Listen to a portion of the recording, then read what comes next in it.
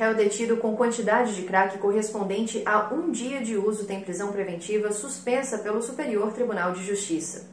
O ministro Rogério Schietti Cruz suspendeu ordem de prisão preventiva decretada contra um acusado de portar 15 pedras de crack. A quantidade é um pouco acima da média de consumo diário de um usuário desse tipo de droga. Embora o suspeito tenha antecedentes criminais e a polícia afirme que ele se encontrava em um local onde o tráfico de entorpecentes é comum, o ministro considerou que as circunstâncias não evidenciam indícios razoáveis de autoria de crime, que é um dos requisitos para a prisão preventiva.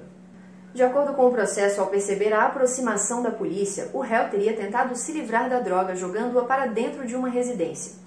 Ele foi preso em flagrante com 3,2 gramas de crack e 239 reais no bolso.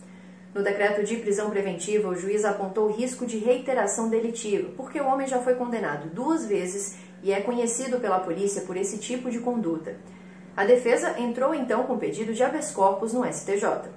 O relator, ministro Rogério Schietti Cruz, destacou que a prisão preventiva tem caráter excepcional e deve ser motivada de forma suficiente, o que decorre da presunção de não culpabilidade, um imperativo do Estado democrático de direito. O ministro mencionou ainda a pesquisa nacional sobre o uso de crack, que indica que os usuários consomem aproximadamente 14 porções por dia, pouco menos do que o encontrado com o réu.